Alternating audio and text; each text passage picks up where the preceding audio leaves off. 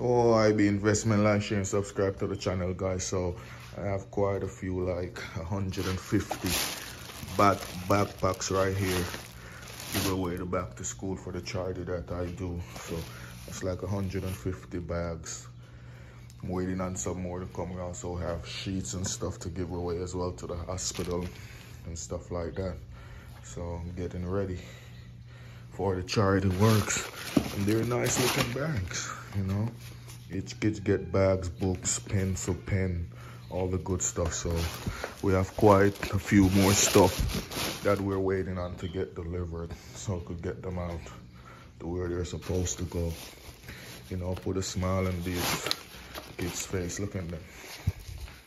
They're beautiful bags. Not bad at all.